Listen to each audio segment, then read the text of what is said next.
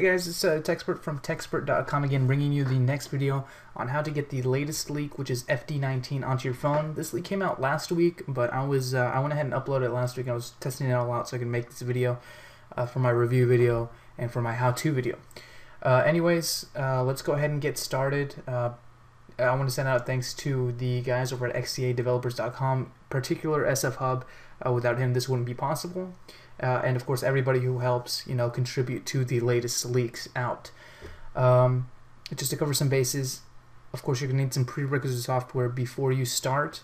And if you want to follow along to a guide while you watch this video or you have some questions that haven't been quite answered through the video, go ahead and head over to techzpert.com slash rooting. It's going to have my latest guide, which is this guide on how to, it's going to cover some questions, some Q&As, you know, some things that you might have questions on.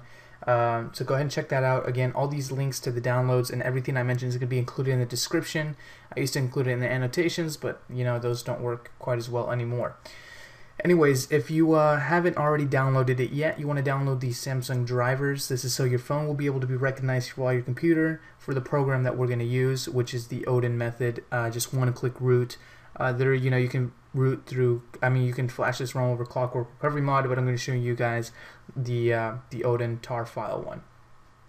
Anyways, um, the second thing you need to do is download the actual ROM itself. Now, this ROM comes with the kernel, the ROM, and of course the modem, so it's all in one package. You don't have to flash anything over more if you don't want to. Of course, I can uh, give you the option, or actually, I will go over in case you want to uh, flash over uh, Clockwork Recovery mod on this version. I'm going to go ahead and include that in the uh, in the video as well. Um, but the first, uh, as always with the Odin, um, with the Odin downloads, you're going to have an option between uh, downloading the FD19 ROM full restore. Again, this is going to clear everything. It's basically going to factory reset your phone, install the FD19 ROM plus root uh, with the Wi-Fi hack and all of that. Um, the second option you have to download is the ROM, but it's going to preserve the user data. If this is your first time flashing, uh, if you're flashing over from Gingerbread over to FD19, or uh, maybe a really old version of Ice Cream Sandwich Leak that was out, maybe like FC15 or something like that, I recommend you go for the uh, for the factory reset route. I know it's a pain in the ass to get all your contacts back and everything like that, but it definitely definitely helps out. It streamlines your phone. That way, there's no you know unseen glitches that you don't have to go through before. Um, um, for this for this video, I'm going to be using the preserved data version only because I'm already on FD19. However, if you are on FD15 or FD16, FD02, feel free to go ahead and just you know upgrade it if you if you like or you're familiar with the process and want to test it out.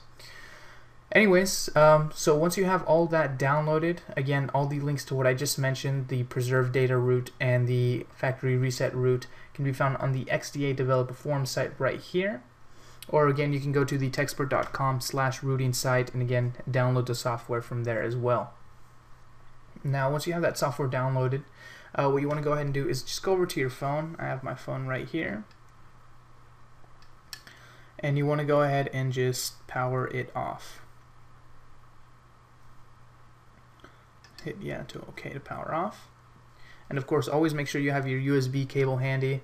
Um, you know, I use the, I've heard stories, uh, especially from other YouTube videos out there, that the, the Samsung cable that came with the Epic 4G Touch is not as good.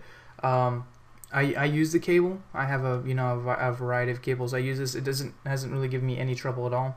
Um, but again, if you encounter any problems, it could be with the cable. I recommend you try another one, uh, which of course BlackBerry or Droid cables work great as well. Okay, so once you have that file downloaded, just go ahead and save it to your desktop. I say the desktop just because of accessibility, it's really easy to reach. Um, and as you can see, I already have mine saved right here. We're going to use a preserved data version. And you're going to see a type of file. This is going to save as a 7-zip file. You just double click it and extract it to another subfolder.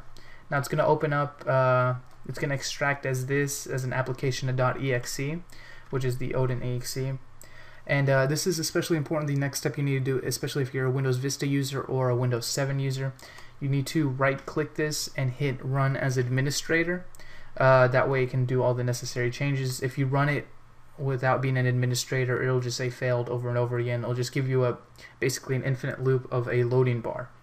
So once you're done uh, hitting, you know, run as administrator, this box will pop up, the Odin Execution v1.81.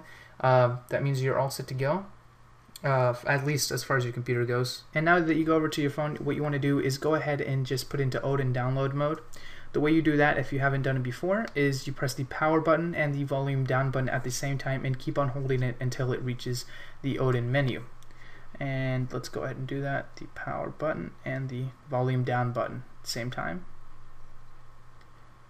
And as you can see, you get these uh, this warning screen. And at the screen right here, you just want to hit volume up. It's going to take you into downloading. You see the little Android guy right there downloading. Okay, now you can plug in your USB cable into your phone. Now it's connected to the uh, computer. And if you look over to computer while you're connecting this, you should hear that little recognize symbol that if you installed your drivers correctly, that the device was recognized. And as you can see there on the box, my device was recognized. Again, the way you see this is you see that little yellow box. It's going to say 0, colon, and then com, and then a number. Uh, the number is different for everybody. Uh, it doesn't really matter what number you're assigned to. As long as you see that and you're assigned a number, then you are good to go. And uh, all you have to do is hit start.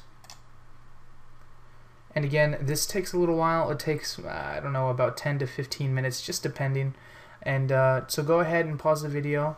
Uh, and then when you come back, it should be all done and rooted. Again, I'll just cut to where it is done rooting. Okay guys, as you see, I'm coming in at the end of the video here. As you can see, the phone is almost done, I'm sorry, the computer is almost done flashing over the ROM. As you can see, it's just finished up flashing over the modem. And as you can see, it set reset pass, and it's going to go ahead and reboot my phone successfully. Again, I use a preserved data version, so it's going to have all the data on it.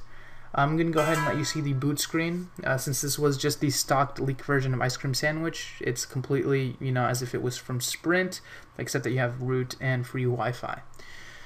Um, if you want to check out my review video of this ROM, just go ahead and click on the video annotation in the uh, at the end of the video. Again, thanks a lot for watching, guys. If you have any other questions, comments, concerns, uh, or need any help, just leave it in the comments section. I'd be more than happy to help you. Uh, again, don't forget to subscribe, and thanks for watching.